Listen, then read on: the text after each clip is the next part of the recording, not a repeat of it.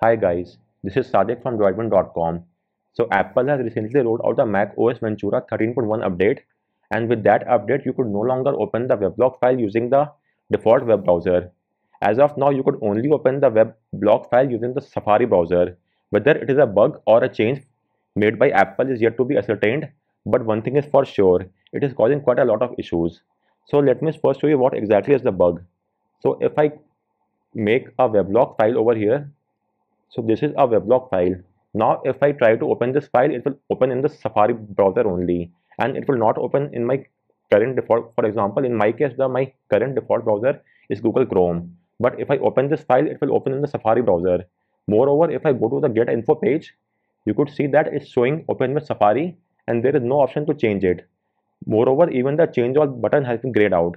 So as of now, I could only open this file using the Safari browser and not via my Google Chrome or any other web browser. Fortunately, there do exist a couple of workarounds through which you could fix this issue. So let me show you this workaround. First off is the basic workaround of right clicking on the file, selecting open with and choosing the browser of your choice. However, the issue with this is that it will take quite a lot of time. So if you are dealing with many webloc files, then you will have to individually right click on the file and select open with and do so for all the webloc file, which will take quite a lot of time and efforts. So your next course of action is to convert these webloc files to HTML files. While this will get the job done, but it will also lead to a few issues. Let me show you. For example, these are the three webloc files that I want to deal with.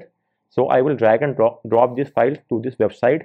You could choose any site of your choice that do this conversion. So as you could see, all these three files has been converted to HTML.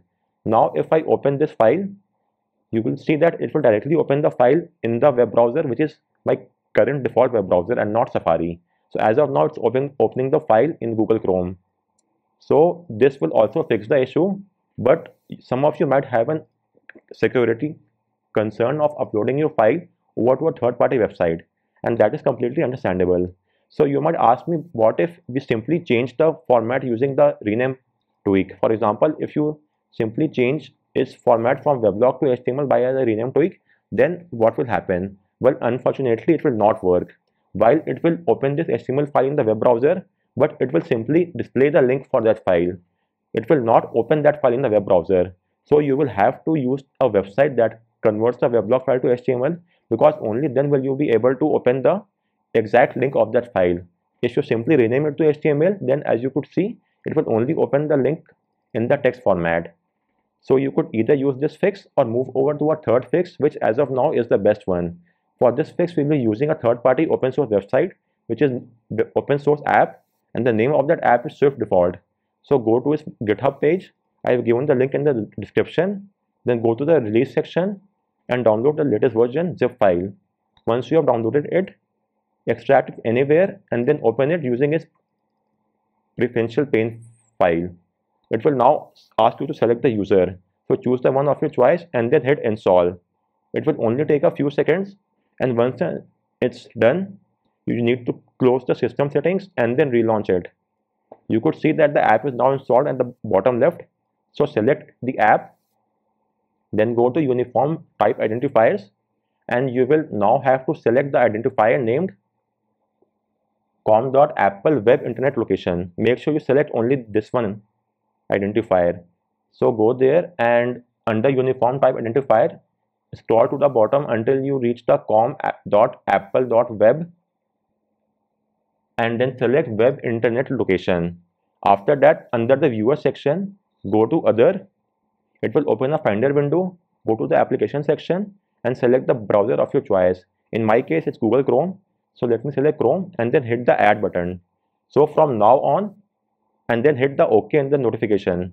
So from now on, every webloc file will be open in the Google Chrome app with this the our task stands successful. And now let me show you as well if I make a new webloc file and if I now open it it will always open in the Google Chrome browser. Moreover if you right click on this file and if you go to get info page you could now see that it has been changed to open with Google Chrome and it's now set as our default browser.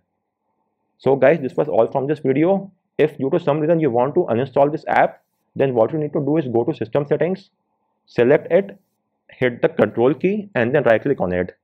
It will bring the remove option. Just hit remove and the app will be removed from the system settings. And but unfortunately if you do so the bug will then reappear. So as of now these were the three different methods. Just to recall the first one was simply the right click. However it will take quite a lot of time. The second method is using a third-party app that will convert the webloc to HTML. However, there might be a few security concern on uploading a file over to a third-party website. So for now, our best bet is using this open source app that does it job quite efficiently. So guys, on that note, we round up this video. If you have any queries, do let me know in the comment section and please subscribe to this channel for more tips and tricks. Thanks for watching.